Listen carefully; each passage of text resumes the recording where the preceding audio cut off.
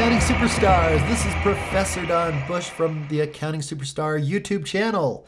And I've been a professor for about 30 years and a CPA for about that long, and I've got great ways to explain accounting. You've come to the right place. So today's lesson is for folks who are in their, oh, I would say seventh, maybe eighth week of class and in your very first accounting class and studying accounts receivable. So, what we're going to do today is we're going to estimate the amount of bad debts that when we get to construction uh, might expect.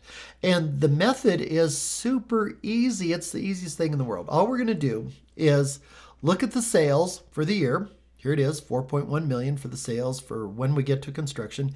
And we're going to come up with an estimate of how much we think is going to go bad. And then we'll do a journal entry and it's really easy. That's about all there is to it. So coming down here, here's what we got going. Here's step number one. So when we get to construction, estimates that probably 1% of their sales will never be collected. And, and they don't know who it'll be. They don't know exactly how much. They don't even know if that 1% is necessarily accurate, but that's their best guess 1%. And so all you do is take 1% of $4,100,000 and uh, there's your estimate $41,000. It's that easy. Now, different companies will have different estimates. You know, when we get to construction, they thought 1% is good, but another company might have 5%. Who knows? So it depends on the company. Now, once we come up with an estimate, and, and here we are at the very end of the year, we're about ready to do our financial statements. What we'll do is we'll do a journal entry. And so I'm going to split the screen so we can see two things at once. So here we go, coming down the page just a little bit. So folks, here's our journal entry right here. So what is the adjusting journal entry to record the estimated bad debts for 2005? Here you go. What you do is you debit bad debt expense. You know, expenses usually are debits for the amount that we estimated, 41,000, and we're going to credit this brand new account that you may not have ever heard of called allowance for doubtful accounts, $41,000.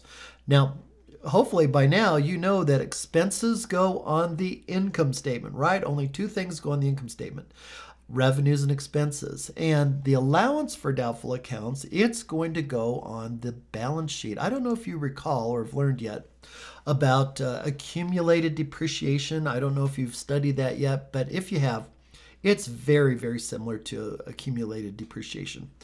So, uh, allowance for doubtful accounts is going to go on the balance sheet. So, here we go. Coming down here, step number three. So, what will this adjusting entry do to the income statement? Well, since we have bad debt expense of 41,000, expenses reduce income, right? We take uh, revenue minus away the expenses, we get income. So the more expenses you have, the less income that you have. But this journal entry is really necessary. Otherwise, these accounts receivable right up here, I'll highlight them Otherwise, th- that accounts receivable will be overstated. You know, the they'll be expecting more money coming in than really will be coming in. That's it's not a good thing. It's good to um, let management know what's really going on. Now, how will the adjusting entry affect the balance sheet? Well, here we go. It's easy. Accounts receivable, one million uh. What we have right up there. Also, we have that allowance for doubtful accounts, 41,000. You might say, Where, where'd that come from?